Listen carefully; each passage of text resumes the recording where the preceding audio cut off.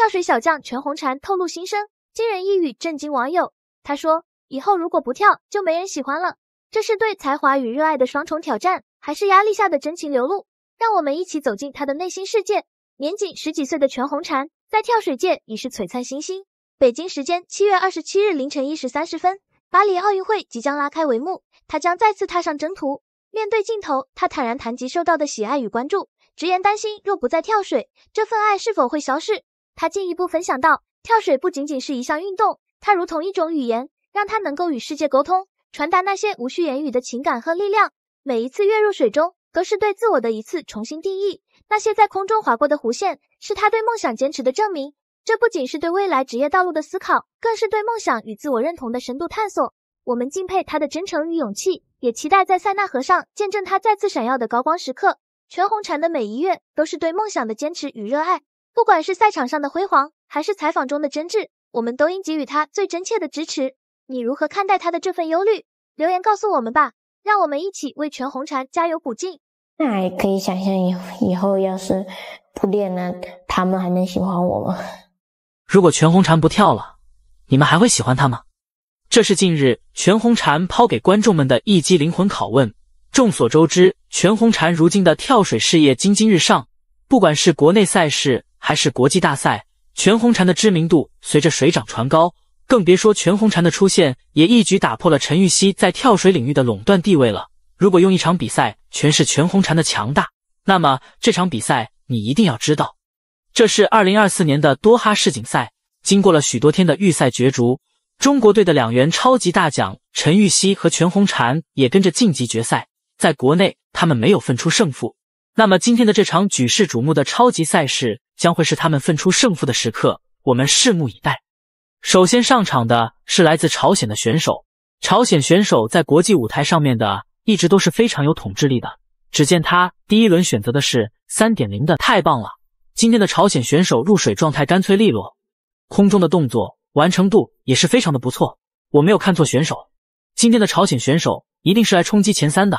我们看一下朝鲜选手在后续的比赛上面到底能走得多远。全红婵上场了，作为全场选手之中最年轻的存在，那么冠军一定是十拿九稳了。我们只需要看还有没有人比他更强了。陈芋汐仿佛是听到召唤一般，直接登上了十米跳台。如果选手十米台谁是全红婵的对手，那么这个人一定是陈芋汐了。陈芋汐根本就没有留手的打算。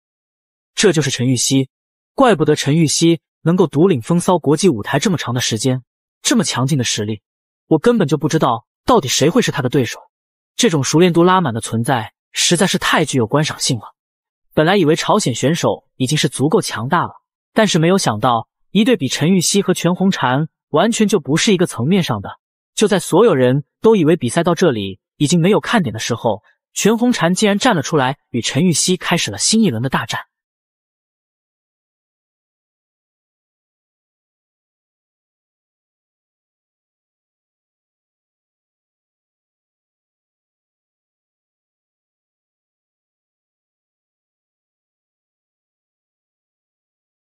撞他！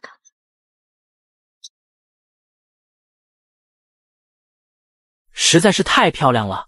全红婵独有的灵动表现和陈芋汐的高度集中的完美表现，在这个激动人心的时刻，现场的每一个人都以为精彩到了这里即将戛然而止的时候，全红婵我们可以看得出她脸上的沮丧。她在这最后一轮选择的也是五二五三 B 的动作，只见她用尽全力向前跳去。比赛结束，陈芋汐没能够改变自己落败的战局。你们认为全红婵在接下来的奥运会能够再次夺冠吗？评论区告诉我吧。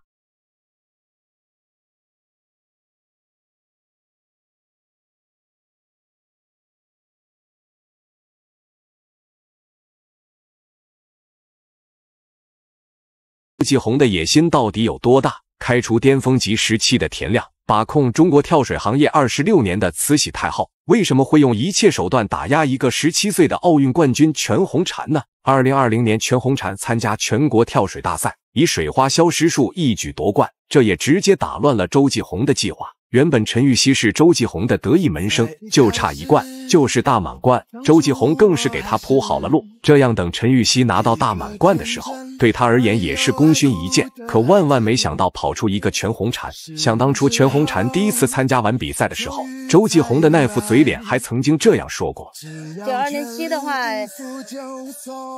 跳成这样，真的很漂亮这一套动作。”从其中便可以看出，周继红根本没把这个无名的小运动员放在眼中。对于他而言，也只是出现了一点小小的意外，但是他也绝对不允许这种意外出现，必须让陈芋汐拿到大满贯。所以后期又暗箱操作裁判，给全红婵打了一个八分，导致与冠军失之交臂。还曾阴阳怪气的夸赞了全红婵，尤其是夸赞还不如说是不看好。反观对对陈芋汐疼爱有加，就连拍照都会把她安排在自己的身边，看着自己的爱徒夺冠，那是笑得恬不知耻啊！很多人都想不通，那也不是完全打压全红婵的理由呀。其实还有一个最重要的原因，就是全红婵和他的粉丝们打破了以周继红为首的利益集团的权威和利益链条，什么裁判员、教练员，甚至运动员资格、赞助、商演代言的收入，以及各种人事任用，包括教练助理、行政，甚至保安和保洁人员，还有国家跳水队以及一切物资采购，周继红都有话语权。全后婵引起了太多的关注，打破了这种链条。所以全红婵才有了国际第一、国内第二。万幸的是，郭晶晶对全红婵极度关注，不忍这样的跳水天才夭折，为全红婵保驾护航。从此，婵宝将会所向披靡，一路夺冠，